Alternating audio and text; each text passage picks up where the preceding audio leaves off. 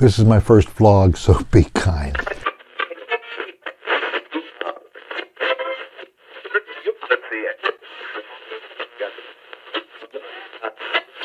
This is the story of how I got to be an extra in the last Robert Redford film, The Old Man and the Gun, that was shot here in the Cincinnati Dayton area in uh, 2017. Cincinnati has been the scene for quite a few movies, most notably Rain Man. Uh, there was Milk Money with uh, Melanie Griffith. There was The Ides of March with George Clooney. And it was that movie that a few friends of mine were able to get cast as extras in. When I became unencumbered of a daily job, and I'd always been interested in doing this, I asked a couple of them, How did you get that role? How did you get to be an extra? Well, you have to watch this woman's Facebook post. She's a casting agent. She'll post when they're looking for extras. And I did. I was watching her Facebook post. Not only was there a Facebook post, there was a newspaper article talking about this big casting call they were going to have for the Robert Redford movie. So I read that and showed up two hours early at Xavier University at a big auditorium. Even two hours early, there were 20 other people in line when I got there. By the time they let us into the auditorium, the line was out the door. There were a few hundred people who had showed up for this casting call. And because the movie was set in the late 70s, early 80s, they asked us to come dressed like we were in the late 70s, early 80s. I didn't have anything appropriate for that, but I found a shirt that was kind of, it, it might have fit. After a while, the assistant director came out, told us what was going to happen, made us fill out some forms, and then they guided us into another room where they took our picture, take some measurements, and then there was a table of two or three other assistant directors. We look at the sizes, look at the info, look up at you for about five seconds and say, okay. Then we were on our way.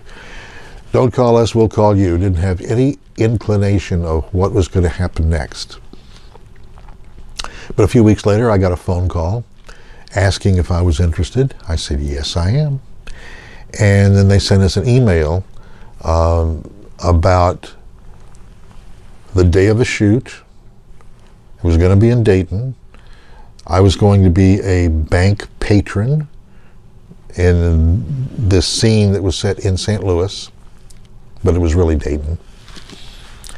And the email also included pictures of men's clothing, pictures of women's clothing of that era, hairstyles, and all that stuff. I went to a thrift shop and bought a coat and some pants that I thought might fit. The day of the shoot comes and it's really drizzling outside. It's early in the morning, about 5 o'clock. We drive to Dayton, park at the assigned area where there's trailers and dressing trailer, dressing room trailers. And they finally tell us that we're going to drive again, follow this bus. He's going to go down to a parking garage in downtown Dayton, park your car there, get out and walk across the street. There's an extras holding area that you're going to be in. So when we got to the extras holding area, there's assistant directors, there's wardrobe people, there's extras, extra wranglers, they called them. They didn't like any of the clothing that I had. They only it was the only thing I kept were my underwear and my socks. But they gave me uh, slacks, they gave me a suit coat and a tie, and a briefcase that I was to carry through all of these scenes they were shooting. They had a little breakfast set up for us, and then they brought us all outside. They paired us up into twos and singles, and all we were supposed to do was walk down the street, stop, turn around, and walk back so it would look like a crowd was there. The camera was on the parking garage across the street, up on top.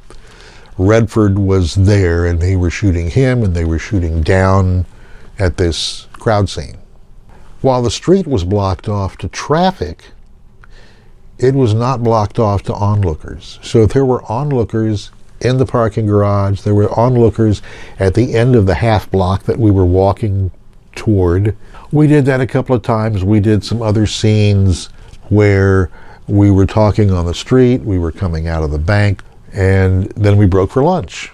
The next scene, they put us outside this bank, which was an old vintage bank downtown Dayton. It's gorgeous, beautiful on the inside with marble floors and all that. Okay, you go in the revolving door, and when you get in, you go that way. And you, when you get in the revolving door, you go that way. And they just had us going back and forth like that, about five or six people on each line. The cue is background action, they call that, and we start walking. And this guy goes in through the revolving door, and I go in through the revolving door and go out, and all of these cameras and lights and people are there. And it's like, oh my God. Didn't expect that because I had not seen any of the equipment yet. So I walk in the bank, step over a cable that's on the floor, and keep going. And the rest of them do their thing. After that, we filmed some coming out of the bank uh, with our backs to the camera and a couple of other scenes. We did some scenes outside with uh, the actors in cars going down the street, casing the bank for the robbery. And then that was it. After about 12 hours, we're done. We get dressed in our street clothes and go home. That was in April of 2017. The film came out in October of 2018. So it was showing the first week at a little theater in Cincinnati. My wife and I get in the car. We're going to go to, to see the film for the first time. She says, By the way, if you don't show up in this thing, you're going to be okay, right? Well, yeah, I mean, it was fun to do. I don't mind. It was, you know, it was a blast. We sit in the theater.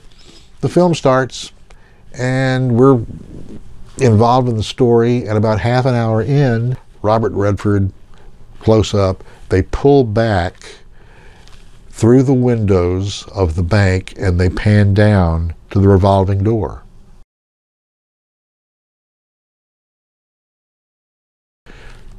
One guy walks in, goes that way, and then here I come, walking in right across the screen. My wife goes, "Oh my God, that's you!"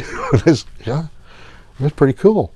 You know, it was a it was a really fun experience, and not only that, but you got to remember this is Robert Redford's last film. So it's pretty special.